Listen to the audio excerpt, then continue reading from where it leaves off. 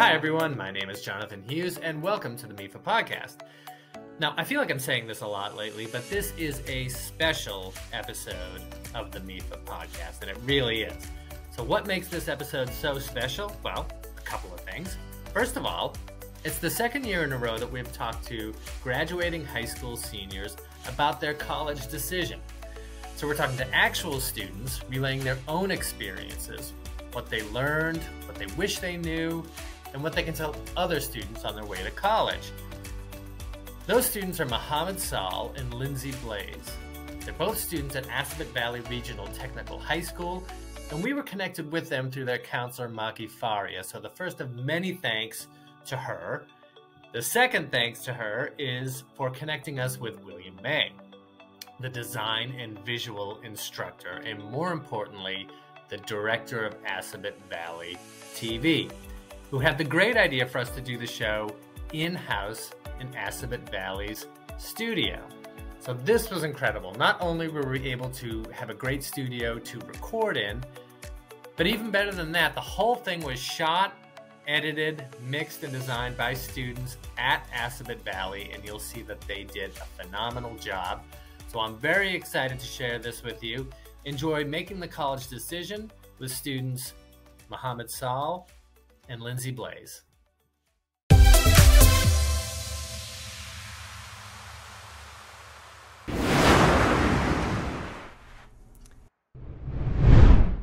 Hey, everybody, and welcome to the MEFA podcast. You may notice that we are coming to you from a different location. Our digs are much nicer this week. We are at Assabet Valley Regional Technical High School, and we're here to talk to two seniors who are ready to go to college. And so, with me uh, they have very graciously offered to be with us today. We have Lindsey Blais. Um, I'm from Hudson, Mass, and I'm graduating in 2023. And? And um, I'm Muhammad Salla. I'm from Northborough, Massachusetts, and I'm graduating this year, 2023. Well, congratulations on, on graduating, everybody, and thank, thank you, you so, so much for being here. I really appreciate it. Thank um, you. It's just something that we like to do. We know this is a long process for students and it can be overwhelming. And to hear uh, perspectives from students who have gone through it and, and what goes into your decision as to where you're going to go to college and how you make that decision and how you chose the colleges you're applying to is really, really helpful. So, again, thank you very, very much. Of course. Um, before we get started, I just want to ask you um, was going to college something that you always knew you wanted to do? No. Um, honestly, a lot of my first years of high school, going here when I was going into auto collision, I really thought college is way too expensive. It's a scam. I don't want to go. Wow. But um, as I got closer to graduating, and my mom was like, "Lindsey, you should really think about it. Like, give it a chance." I like looked into it more, and I went to one college and I didn't like it. Okay. And I didn't tour another college for a while because I was like, ah, exactly what I meant. Like, I colleges aren't good. I don't want to go. But then my mom told me that I should tour more, like just give it a chance, come on. So I did, and then I started liking the other ones that I saw and went from there. And now I'm most likely going to be going to Worcester State. So okay that's where I'm most likely going to go. But um, I did also look at some farther away colleges, but they ended up, in my opinion, being too expensive. So we're going to talk about cost too. So I'm glad that you, you, you, brought it up because I know a lot of students are worried about the cost of college, and, and I'll ask you the yeah. same question. Yeah. yeah, it was something.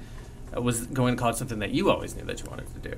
Um, I'd say like it was mostly likely mm-hmm. if that's a word. Um, thingy. I've always been like academically inclined, so I've always been like a pretty good student. So college for me was probably like the logical next step. Mm-hmm. Yeah.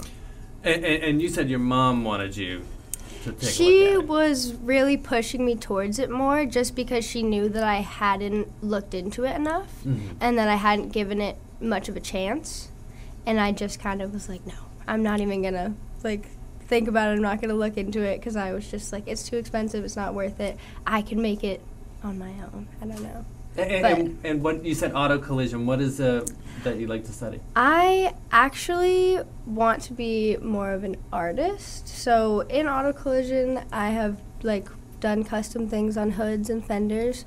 So I did a painting iCar contest, and I actually haven't heard results back yet, but um, did that last year, and I am interested in becoming some sort of an artist and pursuing that. I have painted murals for a town in Maine and have worked with customers there. So I'm looking to further that, and I also want to um, go to college for business so that that can kind of go with it, and um, then I would learn more about it and know kind of more what I'm doing. Because without that background with college, I think it would be a lot harder for me to find my place in what I'm doing, you know? And a lot of people, professions need or look for that diploma Mm-hmm. and will probably not hire you if you don't have it. So mm it's, I think it's needed. So, so uh, you want to do art for, for a living, and, and yeah, you different from auto Muhammad. collision. Yeah. But yeah, yeah, just very different from You auto know. collision. Yeah. And, and what what about what's your interest, Muhammad? Um, so I'm in like the design and visual program in the school. So we're we're in the room right now, and I've always enjoyed the arts. Mhm. Like um, I like design and graphic design and photography and, and that, but I don't particularly see like a a stable future in it. So Mhm. what I decided was um, if I were to able to blend business into it, so that's why I ended up choosing um, marketing as a as a major for college. So hopefully blending aspects of design and photography and art into the business side of marketing would hopefully give me a, a clear delineated like career path that I could follow. Yeah, it's interesting. I'm hearing Yeah, I'm, business. I'm trying to do something similar Yeah, where it's like art by itself. If you're just trying to sell your art, Yeah. you're probably n- it's going to be really hard to sustain Uh-huh. your living like that. So I'm trying to combine it with learning more about a background of business and marketing, Yeah. um, so that I can get somewhere that way and have more of a background and be able to go somewhere like that. So thinking about, you know, cost and you're very sort of focused on on the return. Um, Yeah. You know, did the cost of college? I know you've already said that it, it played a role Yeah, in your thinking about definitely. going to college and, and where you were going to college. What about you, Muhammad? Um, yeah, cost was definitely probably the um, primary like consideration. Mm-hmm. So financially, I wouldn't say that my family's in the best of income brackets. So cost would definitely be like a big, big um, determining factor for where I would go to school. So initially, I started looking at state schools, knowing you know they'd be very like um, affordable. Mm-hmm. Um, and you know, with my academic history, like I, I was pretty optimistic about like my scholarship opportunities, and think thankfully, I got the news this Friday that I could, got a full scholarship to Bentley University. So Wow! Congratulations! Oh, that's Yeah. awesome. You can't see around the room, but there's a lot of people Yeah. jumping up and down and waving, I, was waving I didn't, arms. Yeah. you know, but That's fantastic. uh huh, yeah. So thankfully that that option opened up for me. So That was a happy day at home, I'm sure. and it really was. It Yeah. was a little, was a little too happy for me. I'm, Really? I'm, I'm typically more laid back. Like I like to celebrate on my own, but everyone was jumping. So, That's nice. That's Yeah. really nice. Yeah. And so, um, you know, i i uh, or do you, you have folks in your family who went to college or didn't go to college, or, or I know your mom really pushed you to go. Um, were there other role models that you could look to and say, well, they did it or they didn't do it, or this Yeah. is, yeah. Um, yeah, okay, go ahead, yeah. yeah. Um, so my dad did not go, Mm-hmm. and my mom did. Mm-hmm. So opposite ends of the spectrum Mhm. there. And um, my dad was definitely just um, supportive of whatever I wanted to do, and was like, "Yeah, if you want to go to college, go," but like, yeah, you don't need to, Yeah. you know. Yeah. And whereas my mom was like, you should definitely check it out, even if you don't want to. Like, if you don't end up wanting to go, it's Mhm. good that you gave it a chance, you know? Right. So my dad was more like, yeah, it doesn't matter if you don't want to check it out, you know? but my mom was more pushy to get me to look into it, which I'm thankful for Yeah. in the end. So. Yeah.